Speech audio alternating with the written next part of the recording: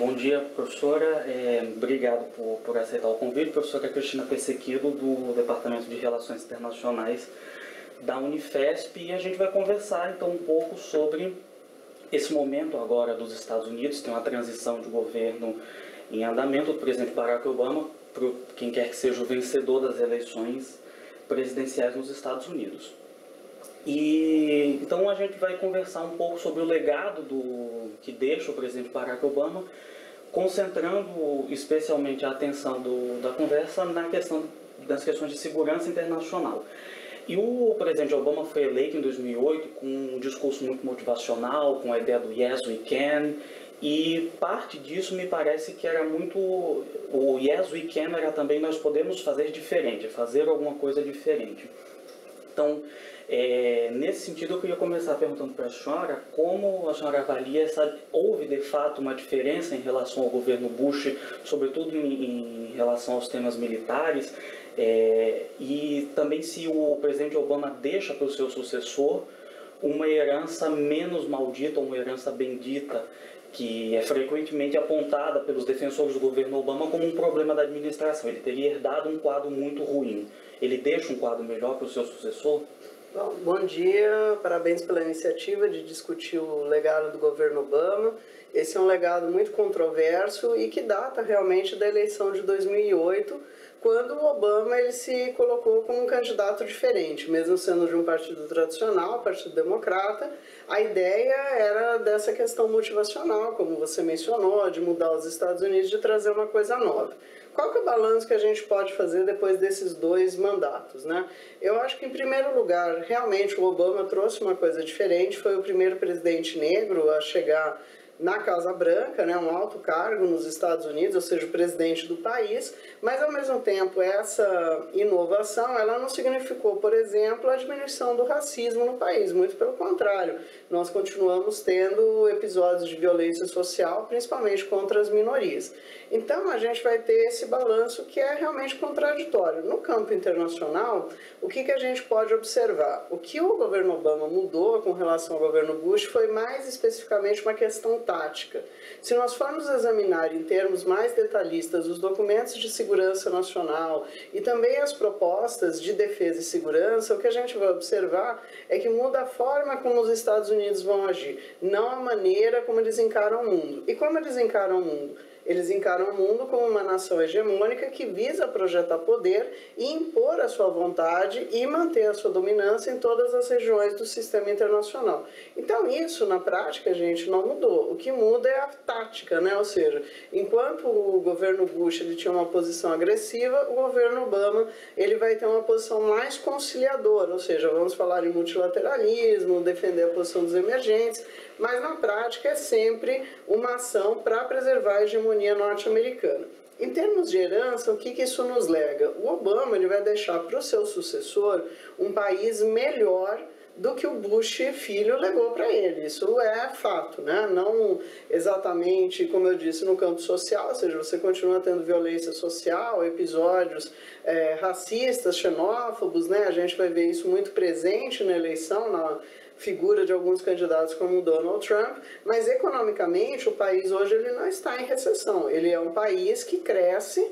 Existe talvez até um medo né, de quem vai assumir possa levar uma regressão desse quadro, mas efetivamente é um país melhor. É um país com mais recursos econômicos, que tem conseguido bater de frente com os adversários emergentes, né? ou seja, até aquele discurso de conciliação é matizado por uma postura mais de contenção, e um país que conseguiu né, se posicionar globalmente e trazer algumas é, medidas de efeito, né, como por exemplo a retomada de relações diplomáticas com Cuba os problemas continuam, né? Então a gente tem uma lista aí: Síria, Líbia, Estado Islâmico.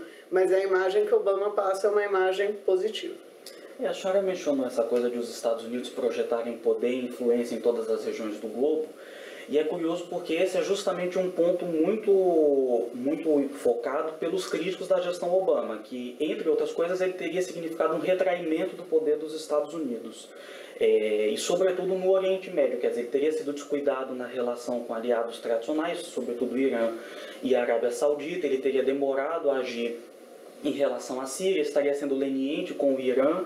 Como a senhora avalia a, a atual posição dos Estados Unidos no, no, Oriente Médio?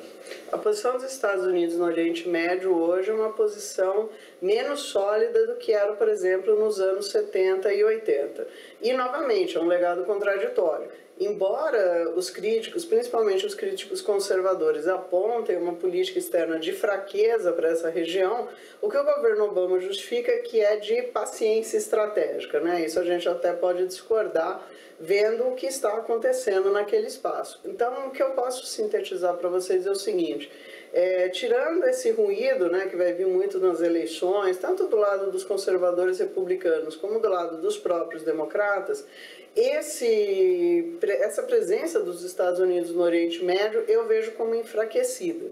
Tá? O único sucesso que eu destacaria é realmente o sucesso do acordo com o Irã, o acordo nuclear, que trouxe uma estabilidade maior para essa questão da proliferação no Oriente Médio, mas a gente tem uma lista de fracassos muito maior. A expansão do Estado Islâmico eu colocaria em primeiro lugar.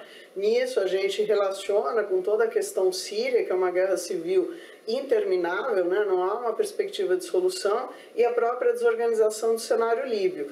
E a gente não pode esquecer da estagnação e do retrocesso representado no processo de paz Israel-Palestina.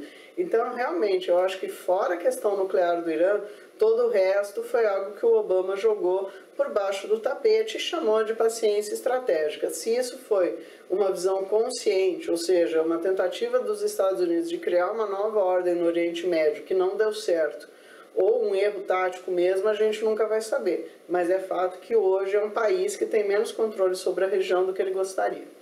É, e em relação especificamente à Síria, o, talvez tenha sido uma das maiores críticas ao governo Obama, justamente porque em 2012 ele dá uma entrevista dizendo que existia uma linha vermelha que era a utilização de armas químicas.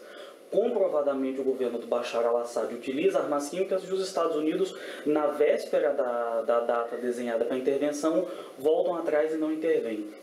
Então, para muita gente isso significou uma perda de credibilidade dos Estados Unidos, ele teria fortalecido o Estado Islâmico. A senhora acha que ele foi leniente com a Síria, que, que foi uma posição acertada naquele momento? É, eu não diria leniente. Eu acho que a questão síria ela envolve uma série de atores regionais e também extra-regionais, como a própria Rússia, é, como a própria Rússia, que dificultam uma solução mais imediata. O que o governo Obama fez, na verdade, foi, primeiro, desestabilizar a Síria apoiando as forças de oposição contra o Bashar al-Assad, sem considerar, na verdade, da onde vinham essas forças de oposição.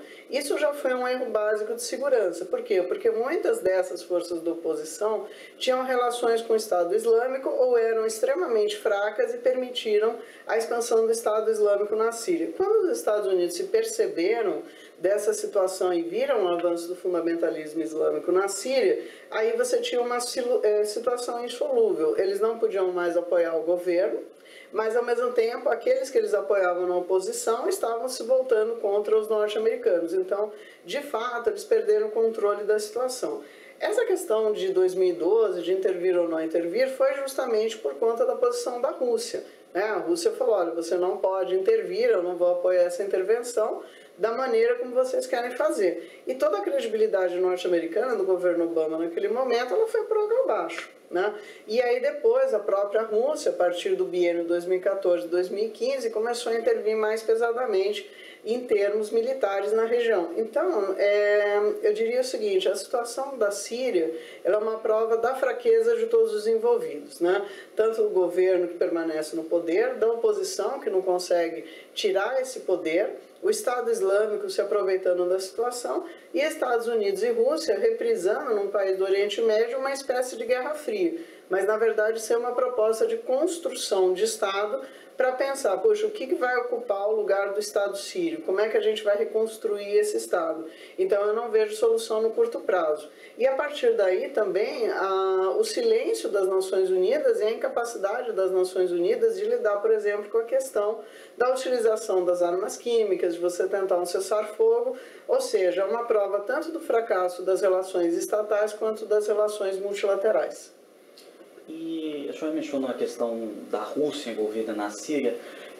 Em, em relação às relações dos Estados Unidos com a Rússia, talvez com a China também, como a senhora vê isso? Acho que o Obama ele foi hábil no jogo de grande potência, por assim dizer?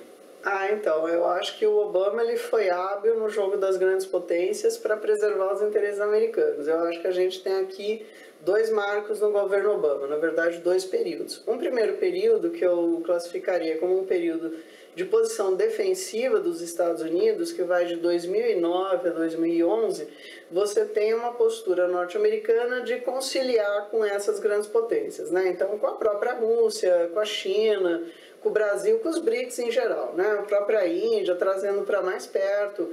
A Estratégia de Segurança Nacional de 2010 chama esses países de novos centros de poder, fala da ascensão do Sul, ou seja, uma postura defensiva querendo trazer esses países para perto para contê-los. Por que isso naquele momento? Porque os Estados Unidos estavam numa posição de reconstrução de poder, principalmente de poder econômico. Quando a gente chega no segundo período, né, que eu defino como de 2011 até agora, existe uma postura muito diferente do governo Obama. Ele passa de uma tática de contenção, né, de engajar para conter, para uma tática de pressionar para conter. E aí você vai ter, no caso da Rússia, um incentivo à oposição ucraniana, uma pressão cada vez maior no governo Putin. No caso da China também, discussões sobre o imperialismo, supostamente o imperialismo chinês na África, na América Latina. Então você passa de uma postura defensiva para uma postura ofensiva.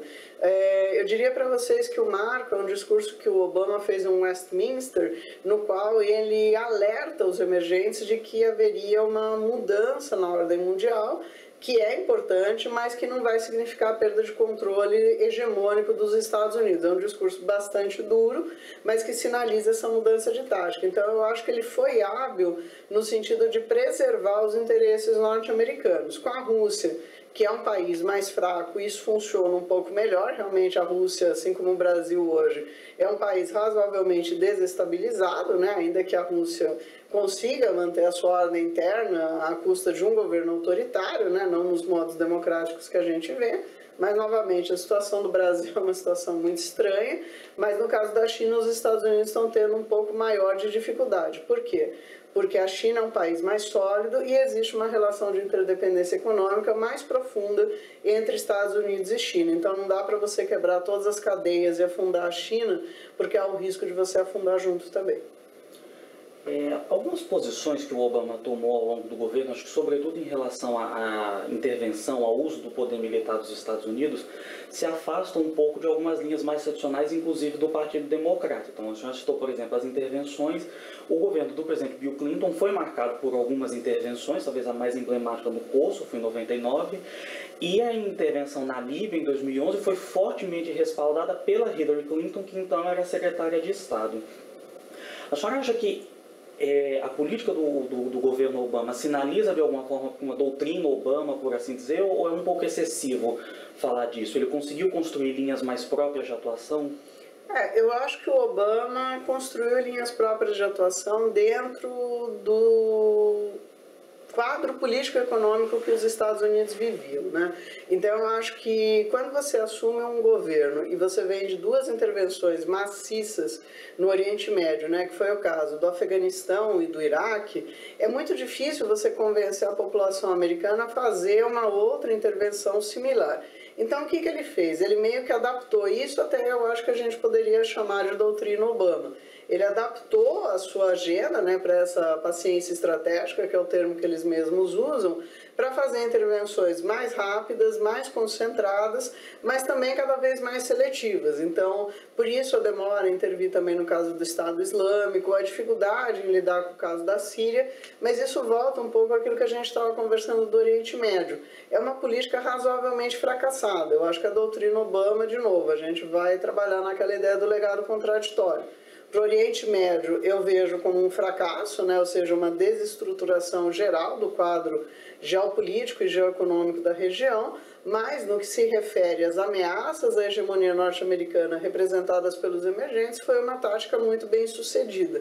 Então eu acho que a gente tem que separar esses dois níveis. O Obama ele foi, ele foi, está sendo ainda, né, até o final do mandato, um presidente muito esperto. Em que sentido? Ele viu que ele podia resolver né, que é essa questão dos BRICS, a retomada das relações com Cuba, é, o acordo nuclear com o Irã, ou seja, são questões grandes que causam muito ruído, fazem bem na mídia, né, ainda que sejam criticadas por alguns grupos mais conservadores dentro dos Estados Unidos, mas são coisas marcantes. Né? Ele mostra que ele vai deixar um governo para a história. Só que, ao mesmo tempo, ele também vai deixar para a história um Oriente Médio desestruturado. E sem os Estados Unidos é muito difícil você construir um Oriente Médio sólido. Por quê? Porque eles próprios criaram essa desordem. E a própria Nações Unidas não tem força e os outros atores também não. Então eu acho que é isso. Eu acho que são duas faces, né? uma face do sucesso e uma face do fracasso. E trazendo um pouco agora mais para a questão doméstica, porque no momento acho que o mundo todo está acompanhando com muita atenção, como sempre, as eleições presidenciais nos Estados Unidos. E esse ano a gente tem um, o virtual candidato do Partido Republicano, Donald Trump, que é uma figura minimamente controversa para manter em termos diplomáticos. A senhora acha que uma postura mais branda do presidente Obama de alguma forma teria é, é, gerado um quadro interno mais permeável, mais para a aceitação do discurso tão conservador e até um pouco esquizofrênico do, do Donald Trump, ou isso é mais um, um, fenômeno doméstico dos Estados Unidos? Ah, eu acho que é um fenômeno doméstico dos Estados Unidos. Eu diria, particularmente na minha análise, que os Estados Unidos eles estão regredindo. Tá, então eu acho que tanto Trump quanto a Hillary eles representam um retrocesso. Porque se a gente for pensar o que, que o Obama é, representou em 2008, né, como a gente conversou no início, renovação, esperança, é, uma minoria chegando à Casa Branca, um processo de reconciliação nacional. Na época eu costumei chamar aquilo da América real e verdadeira. Por quê? Porque a América hoje é um país multicultural, multirracial, um país que precisa aprender a conviver conjuntamente. Então foi algo que realmente a gente tinha grande esperança que as coisas fossem ficar diferentes. Quando você chega no ano passado e começa a ver o desenho da eleição presidencial norte-americana, ah, a gente começa a ver que realmente o Obama ele representou um momento na história, um recorte, mas que a sociedade ainda vive uma guerra civil. Né? Se a gente for pensar, eh, às vezes as pessoas não gostam muito que a gente use essa palavra, porque é um pouco forte. Palavra não, a expressão guerra civil. Mas é isso que os Estados Unidos vivem hoje. Você tem um país absolutamente dividido entre forças progressistas, né, que foram as forças progressistas que apoiaram Obama em 2008, até esperavam mais dele, né, que ele fizesse mais coisas, principalmente no campo da saúde, da educação, da própria sociabilidade interna norte-americana. E aí você tem um campo de forças retrógradas, né? E todas essas forças retrógradas, elas fazem parte do sistema americano que emergiu a partir de 94. Essas forças ainda no século XX elas foram se construindo dessa maneira. E aí um pouco é culpa de todos nós, né? Quando a gente, até você falou na pergunta, ah, a gente tem que ser um pouco diplomático. Será que tem que ser? Eu acho que a gente tem que criticar um pouco mais, né? Quando o Donald Trump fala certas coisas, a própria Hillary, a gente tem que questionar, tem que bater mais de frente, porque ele tem tido posições extremamente xenófobas, racistas, agressivas, e aí com mulheres também é uma coisa muito preocupante. Então isso representa essa face retrógrada dos Estados Unidos, que aí vem do Tea Party, né? vem de toda, né? assim, em 94 isso se chamava, para vocês terem uma ideia, contrato com a América, né? Que era a ideia de você tinha que fazer um novo contrato com a América para que ela fosse mais é, religiosa, tivesse mais valores. Então isso foi crescendo, né? Então a partir do momento que você deixa crescer e não corta, né? Quando alguém faz um comentário desagradável, racista, que a gente sabe que é fora da lei, respeita direitos sociais humanos, isso vai levando a uma escalada. Então o que a gente está vendo hoje essa escalada. Né? É, o Partido Republicano produziu o Trump, eu não acho tão ruim quanto o Partido Democrata não ter uma alternativa melhor. A Hillary Clinton é uma força do passado. Então, poxa, será que não tinha uma pessoa com a mesma personalidade do Obama, com a mesma visão do Obama para sair? Por que, que o partido se prendeu ao passado? Isso pode ter um custo para ele na eleição, porque no fundo a gente está vendo duas forças uma desconhecida, que é o Trump, né? mas ela é midiática, ela atrai, é um showman.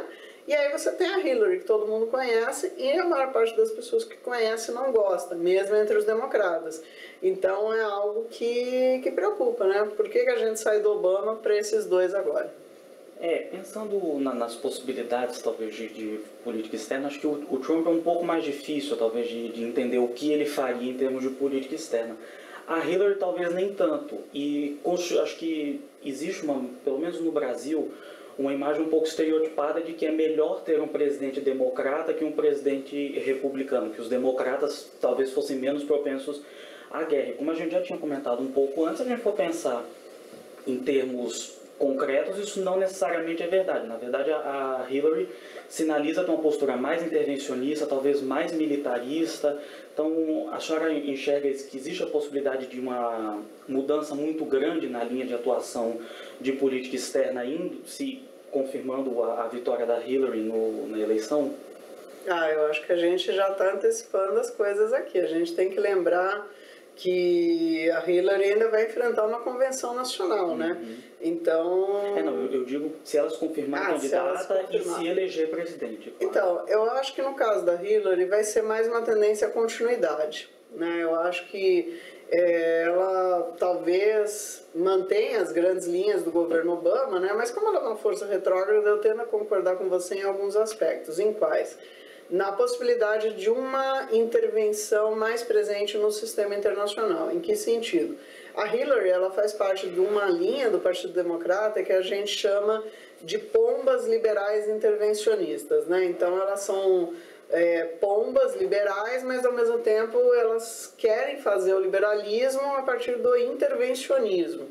Então isso daí é algo que pode levar os Estados Unidos a terem mais intervenções. Tudo vai depender também da situação econômica. E o Trump, eu acho que você usou a palavra perfeita quando a gente começou a conversar. É uma política esquizofrênica, ele fala aquilo que o público quer ouvir. Né? Então eu vou produzir fone nos Estados Unidos, não vou produzir mais na China. É... Será que ele vai ser tão intervencionista quanto a Hillary? Eu não sei. O que a gente pode ter como risco, seja com o governo Hillary, com o governo Trump, é um governo de descontinuidade, de quebra. Né? Então a Hillary ela promete a continuidade, eu acho que em grande medida, principalmente na política interna, ela não vai quebrar isso mas o problema é a agenda exterior. Quais os grupos democratas, intervencionistas, conservadores que vão pressionar para agir? Vai ser o lobby israelense para quebrar, de repente, o acordo com o Irã, ou vai ser o lobby da Arábia Saudita também para quebrar o acordo com o Irã. Então é um quebra-cabeça muito mais complexo. O Trump é essa incógnita, mas é uma incógnita, como você disse, esquizofrênica. Muito obrigado viu, pela conversa, foi bastante esclarecedor. E muito obrigado. Não, obrigado a vocês e parabéns aí pela iniciativa. E vamos continuando discutindo Estados Unidos aí no mundo.